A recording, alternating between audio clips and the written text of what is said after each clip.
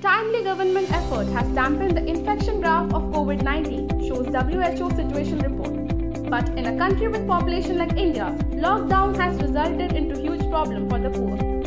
We are a team of out-of-the-box thinkers and problem solvers. Equipped with math, stats and ML, we have deduced guidelines to protect the poor, thus keeping the Indian economy afloat amidst the much-needed extensions in lockdown. We are using R0 from previously fitted SIR model.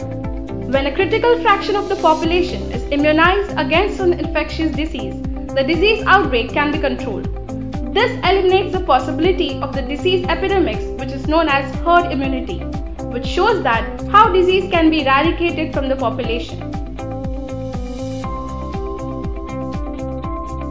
On our mentor's suggestion, we implemented an additional IDA model which gives an insight about controlling disease epidemics. In this model, T is generation time, IT is number of incident cases and D is the control parameter. For values of FAR scale less than 1, the family of curves IT that satisfy this equation corresponds to bell-shaped curves.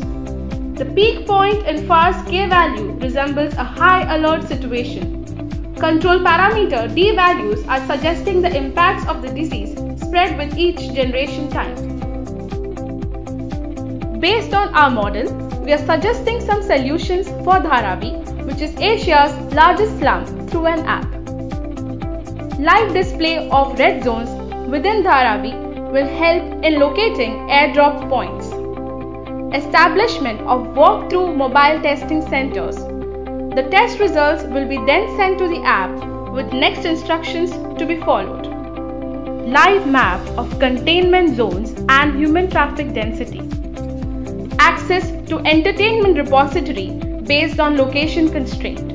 Online training of doctors and locals for different tasks. Regular visits by drone sanitation workers to spray disinfectants for areas which are sealed. We thank Sandhya Pundir ma'am and Karthik Ramesh sir for the valuable inputs. Thank you for watching. Stay indoors, stay safe. Together, we will fight COVID 19.